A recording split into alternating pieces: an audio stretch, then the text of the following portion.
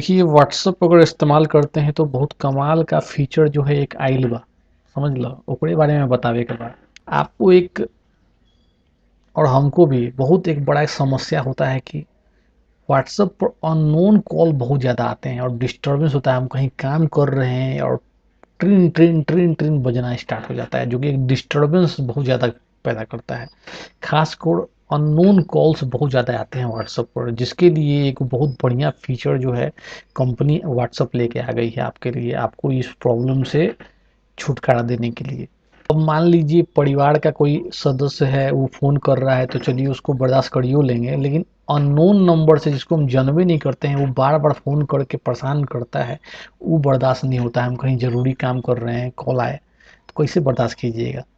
तो इससे छुटकारा मिल जाएगा आपको। कैसे मिलेगा वो बता रहे हैं। ये जो है एंड्रॉयड पर भी फीचर आ गया है और आईओएस पर भी जो है फीचर मिल गया है। तो दोनों पर आप इसका इस्तेमाल कर सकते हो।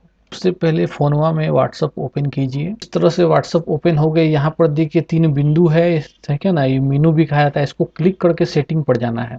अब ऐसे की क्लिक करने के बाद सेटिंग आ गया। सेटिंग को क्लिक करना है। एक बाद क्या करना है? यहाँ देखिए प्राइवेसी है। प्राइवेसी को क्लिक करना है। एक बाद आपको देखिए नीचे में क्या करना है, यहाँ देखिए लिखा हुआ कॉल्स कॉल्स को क्लिक करना है। उसके बाद देखिए यहाँ क्या है साइलेंस अननोन कॉलर्स इस जो है ना, इसको इनेबल कर देना है। इसे क्लिक करके इनेबल कर दीजिए इनेबल हो जाएगा।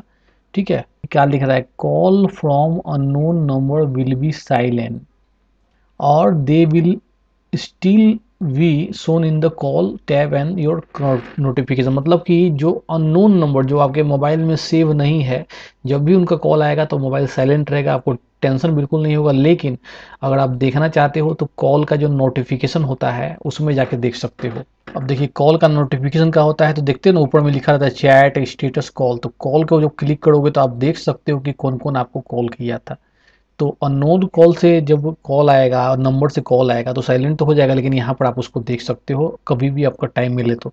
कहाँ कहाँ से कॉल आया है कि नहीं आया, सब दिखाई देगा। तो भैया, ये फीचर के फ़ायदा उठावा जा और मस्ती कर जा, आप कोई भी थोड़ा डिस्टर्ब ना कर सके। कोनो क्वेश्चन हो तो कमेंट ज़रूर करिए जय हिंद।